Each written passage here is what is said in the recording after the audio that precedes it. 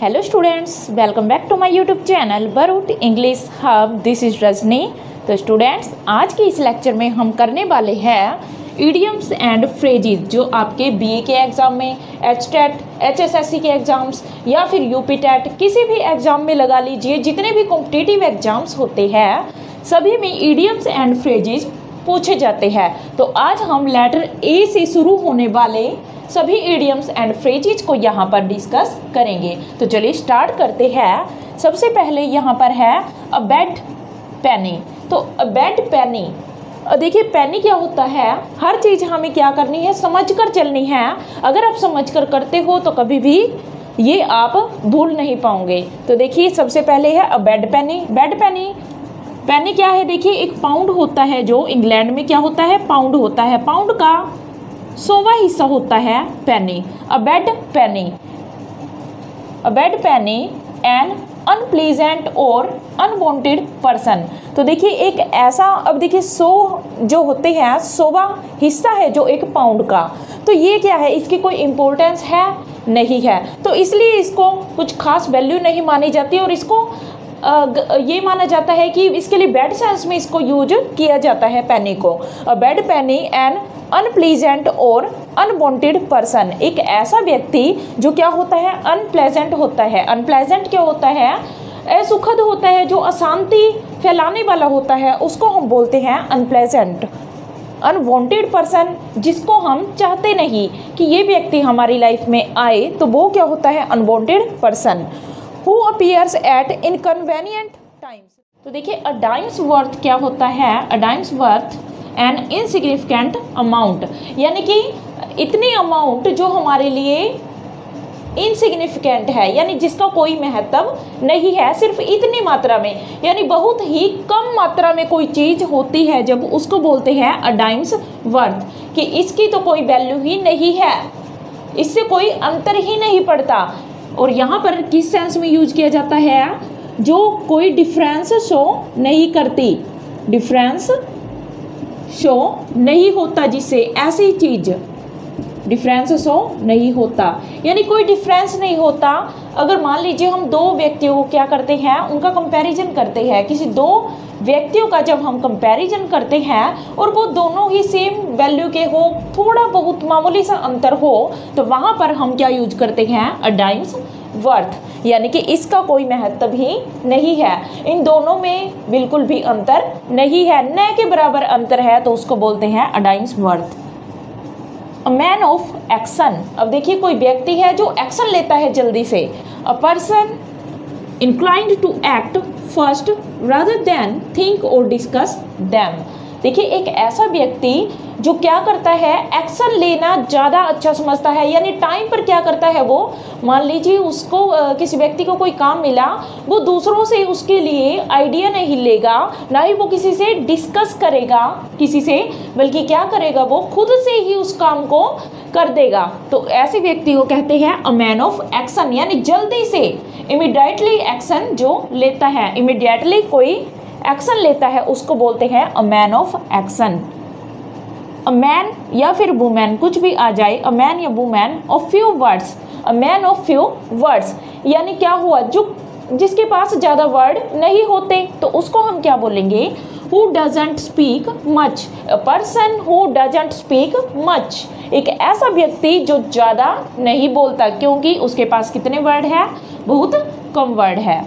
A penny saved is a penny earned या gained अब देखिए क्या है एक पेनी को जब हम सेव करते हैं वो पेनी जो हम आ, क्या कर लेते हैं उसको हम कमा लेते हैं या फिर उसको हम बचा लेते हैं। इसका मतलब क्या हुआ?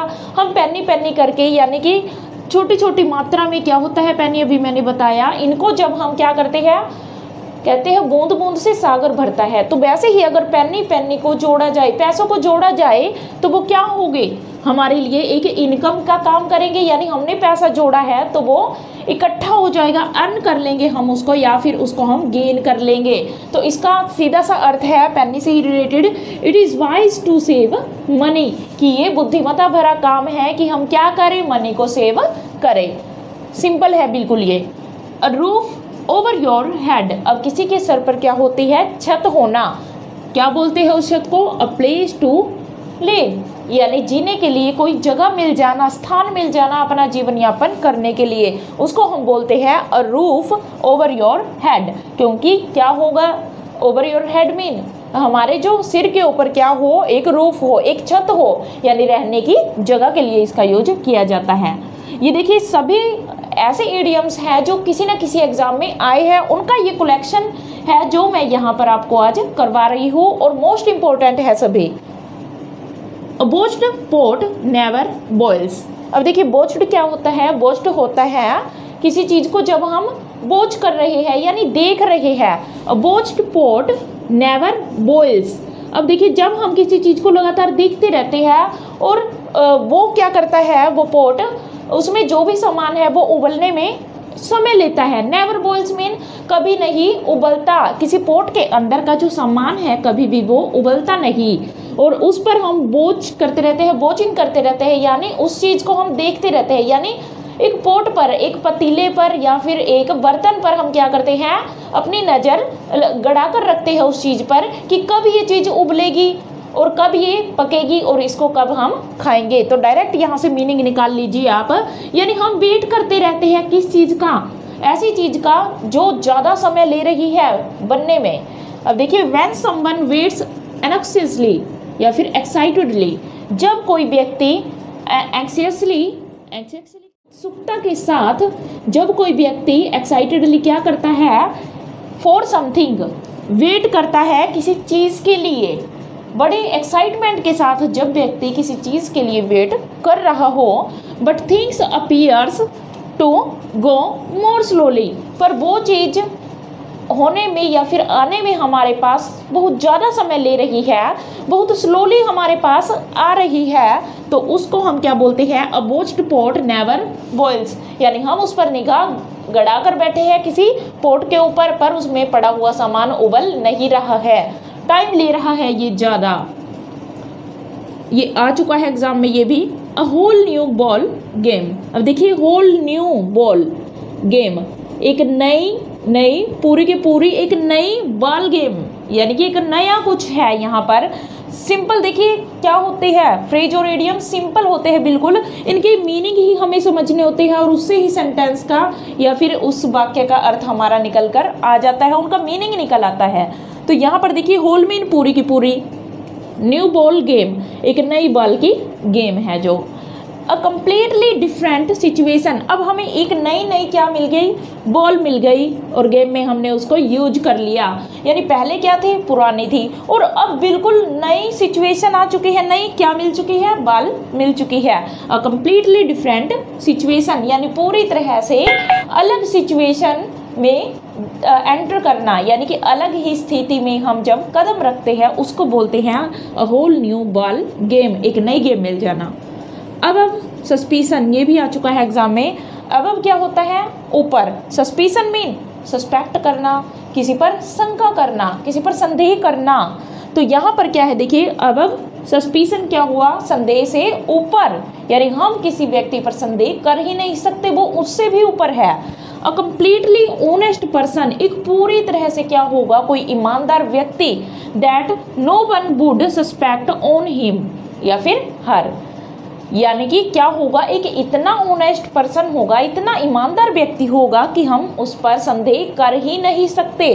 तो ऐसे व्यक्ति के लिए हम क्या यूज़ करते हैं? अब सस्पिशन यानी संदेह से भी ऊपर है, उस उस पर संदेह करना आसान काम नहीं है या फिर नहीं किया जा सकता। अब देखिए अब अब साल्ट अब साल्ट क्या होता है? नमक होता है। जो नमक से भी ऊपर के लोग अब देखिए क्या होता है? आ, हमें जीवन यापन करने के लिए क्या चाहिए?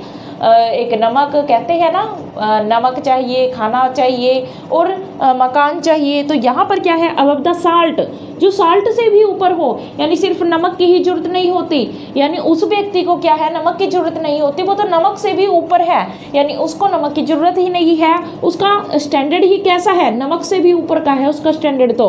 उसे तो अच्छी अच्छी चीज़ें मिलती है। तो यहाँ से आप डायरेक्ट उठाइए। लिंक करना है हमें सिर्फ़ यहाँ पर। वैसे तो ये पता नहीं एडियम्स और फ्रेजेज कहाँ कहाँ से, किस इंग्लिश लिटरेचर के वर्क से निकल कर आते हैं। अब देखिए यहाँ पर क्या है इंग्लिश वर्क से जो निकल कर आते हैं, उन्हीं को हम लिंक कर कर पढ़ रहे हैं। वास्तव में इनका मीनिंग ही नहीं होता ये, पर हमें सिर्फ़ लिंक करना है और ये निकालना है। तो अब द साल्ट मीन नमक से ऊपर, यानी जिसके पास हाई स्टैंडर्ड होगा, वो नमक से भी ऊपर की बात करेगा। तो हाई स्टैंडिंग और ऑनरिंग यानी ऐसा व्यक्ति जिसका हाई स्टैंडर्ड है और बहुत ज़्यादा वो क्या है ऑनर रखता है, सम्मानित व्यक्ति है। ऑनर या फिर ऑनर कोई भी स्पेलिंग लगा लीजिए, दोनों ही करेक्ट होगी अब देखिए एक्लिस हिल तो एक्लिस हिल मोस्ट इंपॉर्टेंट है ये। एक्लिस हिल क्या होता है? अ वीक पॉइंट अब आपको कैसे याद रखना है? देखिए हील है जो। हील क्या होती है? किसी भी सैंडल की हील होती है। हमें यहाँ से याद रखना है, किसी भी सैंडल की हील अब वो क्या है? अगर वो टूट जाए तो हम डगमगा के गिर सकते हैं। यानी ये क्या है? जब हम सैंडल डालकर चलते हील डालकर चलते हैं तो ये क्या होता है? एक वीक पॉइंट होता है। यानी कभी भी वो टूट सकती है और इसका क्या होगा? हम पर कोई ना कोई प्रभाव ज़रूर पड़ेगा। तो अ वीक पॉइंट और फॉल्ट यानी कि ऐसा पॉइंट जो बिल्कुल वीक है हमारी लाइफ का, या फिर हम में कोई कमी है इन समबड़ी किसी भी व्यक्ति में और किसी भी चीज़ में। यानी किसी भी व्यक्ति में कोई भी फॉल्ट होना या फिर कोई भी कमज़ोरी होना वीकनेस होना उसको हम बोलते हैं एक्लिस हील मान लीजिए मैं आ, मैं या फिर कोई भी व्यक्ति है या फिर वो क्या कर रहा है किसी को अच्छी तरह से किसी चीज़ की नॉलेज नहीं है और बाकी चीज़ें उसको अच्छी तरह से आती है। तो जो उसको नहीं आती वो उस व्यक्ति का क्या होगा? एक्लस हील होगा यानी एक वीक पॉइंट होगा। एडम्स एल अब देखिए एडम एडम क्या है? देखिए बाइबल में वैसे लिटरेचर की है स्टोरी की बाइबल में क्या होता है? एडम और ईब होते हैं, जिसकी संतान हम कहे जाते हैं कि हम एडम और ईब की ही संतान है। ये दुनिया पूरी एडम और ईब से ही बनी है। तो यहाँ पर क्या है? एडम्स एल तो एडम एक व्यक्ति व्यक्ति मानकर चलना है, सिर्फ़ आपको स्टोरी में इंटरेस्ट लेने की ज़रूरत नहीं है। तो एडम्स एल एल क्या होता है? देखिए, पुराने समय में एक बियर होती थी बियर पीने वाली बियर होती है जो, वो बियर होती थी, उसको हम एल कहते थे पुराने समय में। तो एडम्स एल तो वो क्या होगी? देखिए, पुराने समय की ये बियर है तो ये क्या है? वोटर ये किसके लिए यूज़ होता है? एडम्स एल वोटर के लिए। ओल्ड फैशनड ओल्ड फैशनड में पुराने समय का, पुराने फ़ैशन का जो वोटर होता है, उसको बोलते हैं एडम्स एल या फिर ऐसा व्यक्ति जो क्या है? पुरानी परंपराओं में बिलीव करता है, पुराने फ़ैशन का है, पुराने कल्चर में बिलीव करता है, उसको बोलेंगे हम एडम्स एल नेक्स्ट है, देखिए add fuel to the water to the fire add fuel to the fire अब देखिए, जहाँ पर क्या लगी है? फायर लगी है, आग लगी है. वहाँ पर हमने क्या ऐड कर दिया? वहाँ पर ऐड कर दिया फ्यूल फ्यूल क्या होता है? ईंधन होता है. पेट्रोल, डीजल कुछ भी लगा लीजिए यहाँ पर, जिससे क्या होता है add fuel to the fire fire में अगर हम तेल डाल देंगे फ्यूल क्या हुआ? तेल हुआ कोई भी। तो अगर हम आग में तेल डाल देंगे या कहते हैं आग में घी का काम करना आग में घी डालना। पहले से ही जलते हुए को और ज़्यादा, अब आग में घी डालेंगे तो क्या होगा? और ज़्यादा क्या होगी? आग तेज हो जाएगी, भड़क जाएगी। तो वैसे ही ये वही है add fuel to the fire यानी आग में क्या डालना? तेल डालना। तो वो और भड़काने के लिए, मान लीजिए कोई ऐसी situation to make a problem worse जब हम क्या करते हैं, किसी प्रॉब्लम में और भी बात चढ़ा चढ़ा कर किसी को और ज़्यादा भड़का देते हैं और वो जो सिचुएशन होती है, वो प्रॉब्लम होती है और बड़ी हो जाती है और भद्दी बन जाती है, बुरी बन जाती है। तो उसको हम बोलते हैं एडफुल टू द फायर यानी गई। अब देखिए अगेंस्ट द क्लॉक या टाइम यानी टाइम के अगेंस्ट चलना क्लॉक के क्लॉक या टाइम कुछ भी आ सकता है, यहाँ पर लिखा हुआ, दोनों ही आ चुके हैं ये। To do something as fast as possible यानी क्लॉक के अगेंस्ट क्लॉक है जो अपने समय पर चलती है, मान लीजिए एक वॉच है घड़ी है, वो क्या है? वो तो अपने समय पर ही चलेगी। और हम क्या करेंगे? उस बोझ से भी पहले अगर कोई काम हमें एक घंटे में करना है, हम क्या सोचेंगे कि हम काम कैसे करें? उससे भी पहले कर दे तो वही सिचुएशन है ये अगेंस्ट द क्लॉक टाइम से पहले कुछ करना, जितनी जल्दी हो सके उतनी जल्दी करने की सोचना. To do something as fast as possible यानी कोई चीज़ इतनी जल्दी करने की कोशिश करना, जितनी जल्दी हम उसे कर सके, यानी जल्दी से जल्दी निपटाने की कोशिश करना. And try to finish it before a deadline यानी किसी भी डेडलाइन से, यानी समय खत्म होने से पहले ही किसी चीज़ को फिनिश करने की, उसको निपटाने की कोशिश करना। उसको बोलते हैं अगेंस्ट द क्लोक क्लोक के अगेंस्ट चलना, यहाँ से हम इसको लिंक करके चलेंगे। All cats are grey in the dark देखिए, सभी कैट्स कोई भी कैट हो, चाहे वो वाइट है, कैसी भी है तो all cats are grey in the dark dark में भी कैसी दिखती है? ग्रे ही दिखेगी। यानी कि जितनी भी कैट होगी, अंधेरे में तो वो कैसे ही दिखेगी, सभी एक जैसे ही दिखेगी। अब यहाँ पर क्या निकल कर आया? फ़िज़िकल अपियरेंस इज़ अनइम्पोर्टेंट क्योंकि हर इंसान क्या है? मान लीजिए कोई सुंदर है, कोई भद्दा है देखने में, कोई क्रूप है, या फिर क्या होता है? तो यहाँ पर देखिए, कहने का क्या अर्थ हुआ? All cats are grey in the dark कि कोई भी व्यक्ति हो, वास्तव में अंदर से तो वो कैसा होता है? सभी डार्क मतलब अंधेरे में, यानी कि अंदर, हमारे अंदर क्या है? यहाँ से लिंक कर लो आप, अंदर क्या है हमारे? अंधेरा ही तो है, कोई लाइट थोड़ी ना है अंदर। तो यहाँ पर क्या होगा? All cats are grey in the dark यानी डार्कनेस में, अंधेरे में तो सभी के सभी एक जैसे ही लगते हैं। यानी कि फ़िज़िकल अपियरेंस है जो, वो क्या है? अनइम्पोर्टेंट है। उसका कोई महत्व नहीं है। फ़िज़िकल अपियरेंस का कोई महत्व अब देखिए ओल हैट एंड नो कैटल सभी के सभी क्या? टोपिया है और कोई भी कैटल नहीं है, कोई भी मवेशी नहीं है। Somebody who is full of big talk यानी कि क्या होना?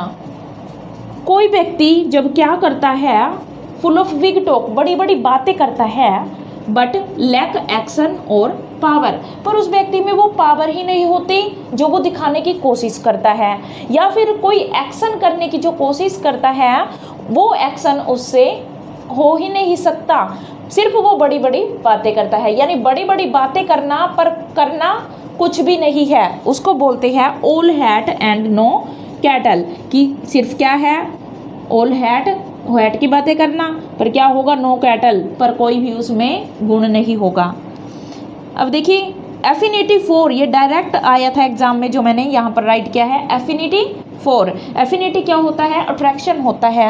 किसी चीज़ के लिए क्या होना? अट्रैक्शन रखना है। अट्रैक्शन या फिर किसी चीज़ को हम प्रेफरेंस देते हैं प्रेफरेंस देना। और सिंपति सिंपति मीन किसी चीज़ के लिए सहानुभूति रखना। तो उसको हम क्या बोलते हैं? उसको बोलते हैं एफिनिटी फोर यानी किसी चीज़ के लिए अट्रैक्ट होना, सहमति देना या फिर सहानुभूति रखना, इन सभी को हम बोलते हैं affinity for all that glitters is not gold ये पता नहीं कितनी ही बार एग्ज़ाम में आ चुका है. ऑल दैट ग्लिटर्स यानी जो भी चीज़ चमकती है ग्लिटर क्या होता है? चमकना. इज़ नॉट गोल्ड वो सोना नहीं होती. चम, हर चमकती हुई सी चीज़ सोना नहीं होती. तो ये कहने का अर्थ है। तो यहाँ क्या निकला? अपियरेंस इज़ समटाइम्स मिसलीडिंग यानी अगर हम कोई चीज़ चमक रही है दूर से हमने देखा और हम उसको गोल्ड समझ लेते हैं, यानी हमने समझा कि वो सोना है, पर वो सोना नहीं होता। यानी कि अगर हम किसी के अपियरेंस को देखकर, मान लीजिए बड़े बड़े यूट्यूब चैनल्स हैं, हम वहाँ पर जाकर क्या देखते हैं? कितने व्यूज़ आए हैं, कितने सब्सक्राइबर हैं, पर हम वहाँ पर ये नहीं देखते कि कौन कितना डीपली पढ़ाने की कोशिश आपको कर रहा है। तो यहाँ देखिए क्या निकलेगा। All that glitters is not gold तो नेक्स्ट देखिए क्या है। An arm and a leg अब जिसके पास एक आर्म है और एक लेग है, वो तो क्या हुआ? धनी ही हुआ। अपने जिसके पास एक हाथ है, एक पैर है, वो आराम से पैसा कमा सकता है। यहाँ से हम लिंक करेंगे। अ लॉट ऑफ़ मनी जिसके पास बहुत सारा पैसा है। यानी जिसके पास हाथ पैर है तो उसके पास सारा पैसा है। An eye for an eye a tooth for a tooth एक आँख के लिए आँख और एक दांत के लिए दांत। कोई भी आ सकता है, दोनों ही आ चुके हैं एग्ज़ाम में ये। यानी कि एक आँख आँख के लिए तो आँख होगी और दांत के लिए दांत होगा।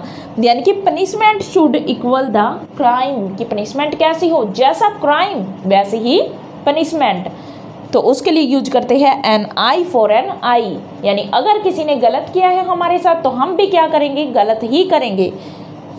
An any for any any port in a storm storm क्या होता है? तूफ़ान होता है। पोर्ट क्या होता है? पोर्ट होता है बंदरगाह। जहाँ पर क्या किया जाता है? जो समुद्री जहाज़ है, वो उतरते हैं। वहीं पर खड़े किए जाते हैं बंदरगाह पर। तो एक पोर्ट है जो इन्हें स्टोरम किस चीज़ में है वो? स्टोरम में। तूफ़ान आ चुका है किसी बंदरगाह पर।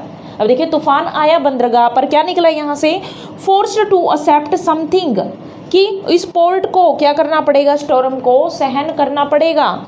क्योंकि फोर्सिबली फोर्सिबली क्या किया गया है? स्टोरम इस पोर्ट पर आया है, इस बंदरगाह पर आया है। Force to accept something in a situation whether you like or not बेशक से इस बंदरगाह को तूफ़ान पसंद हो या ना हो, पर उसे इसका सामना करना पड़ेगा। मजबूर है ये सामना करने के लिए। तो यहाँ से बनाया कि कोई व्यक्ति जब मजबूर होता है किसी चीज़ के लिए, और वो चाहे या ना चाहे उसे वो करनी पड़े। तो नेक्स्ट करते हैं। आपको बिल्कुल ट्रिकी वे में यहाँ पर अब बताऊँगी। कुछ फ्रेजिज इनके अलावा कितने मर्ज़ी आ जाए, यहाँ से सेम तो आपको क्या करना है वो मैं आपको बताऊँगी इन एडियम्स और फ्रेजिज में। अब देखिए क्या है यहाँ पर ट्वेंटी सेकेंड है। अनदर नेल अनदर मीन एक और। हम यहाँ क्या लेंगे? अन्य। अनदर क्या होता है? अन्य या फिर एक और लगाएँगे हम यहाँ पर। यानी कि अन्य, एक और। अनदर नेल नेल क्या होता है? एक कील होती है। In one's coffin one's mean किसी व्यक्ति के कोफिन क्या होता है? कोफिन होता है, ताबूत होता है जो। यानी कि जो क्या होती है? कबर बनाई जाती है लकड़ी की या किसी चीज़ की, जिसमें किसी को डालकर किसी कब्रिस्तान में दफनाया जाता है। तो उसको कोफिन बोलते हैं। Another nail in one's coffin एक और नेल एक और कील क्या करना? गाड़ना। किस चीज़ में? किसी के ताबूत में। तो वहाँ पर क्या होगा? यानी कि और ज़्यादा क्या करते रहना? कुछ ना कुछ पहले एक कील गाड़ दी, फिर दूसरी गाड़ दी। यानी और ज़्यादा गाड़ते ही रहना। तो कंटिन्यू रखना ये चीज़। तो क्या होगा यहाँ पर? सीरीज़ ऑफ़ इवेंट्स कुछ क्या होगा? सीरीज़ ऑफ़ इवेंट्स बार बार कोई ना कोई इवेंट होगा, कोई ना कोई घटना होगी। बिच लीड टू डाउनफॉल और फेलर जो किस चीज़ की तरफ़ लीड करेगी? तो वो किसी के पतन की तरफ़ या फिर फेलियर क्या होता है? फेलियर होता है आ, फेल हो जाना यानी हार जाना हार मान लेना।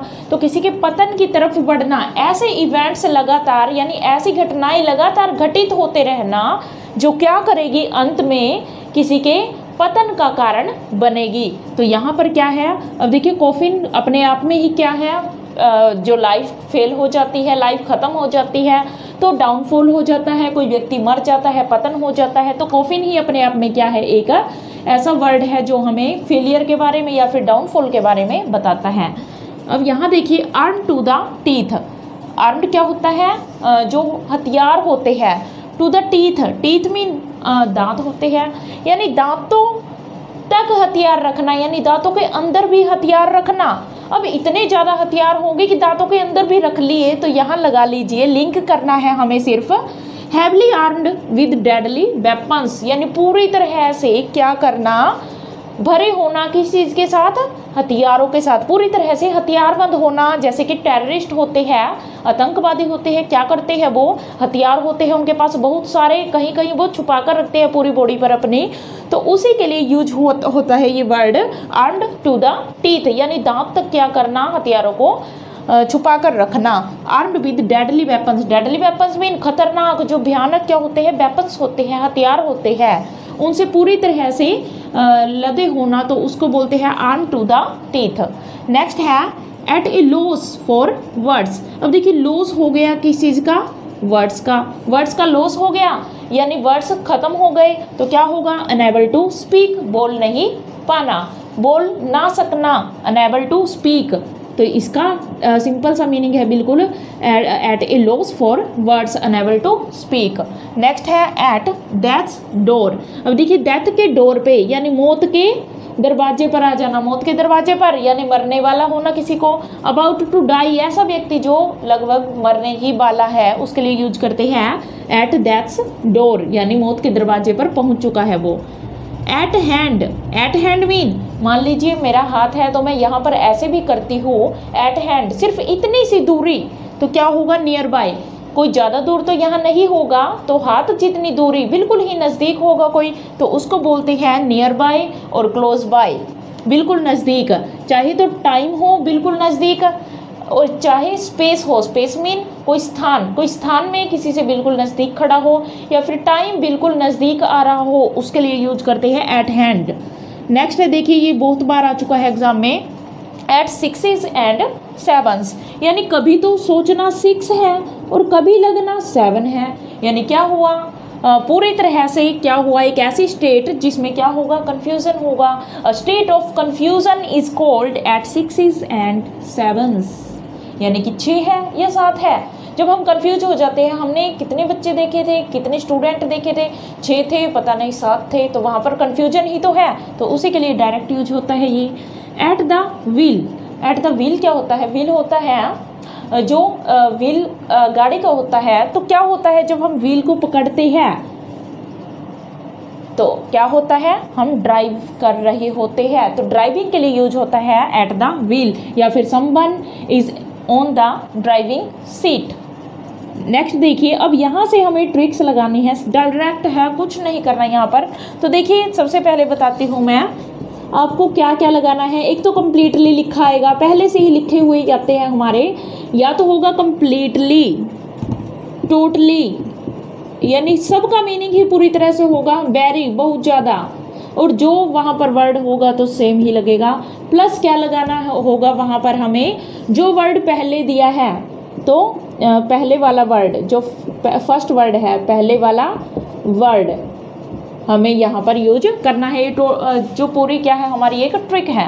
अब देखिए, कैसे सेंटेंसेस में ये ट्रिक काम आएगी? तो ऐसे सेंटेंस होंगे जहाँ पर एज एज का यूज़ होगा। इसको बोलते हैं हम एज एज फ्रेजिज या फिर as as idioms as as as as ऐसा कुछ भी, कितने भी एडियम्स बना सकते हो आप डायरेक्ट उनका आंसर आपको मिल जाएगा। तो देखिए as blind as a bat तो इसका मतलब क्या हुआ?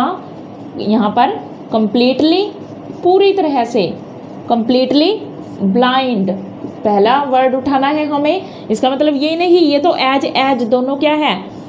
सिमिलैरिटी दिखा रहा है तो एज एज क्या करता है? सिमिलैरिटी दिखाता है। तो ये सभी तो सिमिलैरिटी के लिए यूज़ है तो फ़र्स्ट वर्ड कौन सा हुआ? ब्लाइंड। तो क्या हुआ? कंप्लीटली ब्लाइंड, या फिर टोटली ब्लाइंड?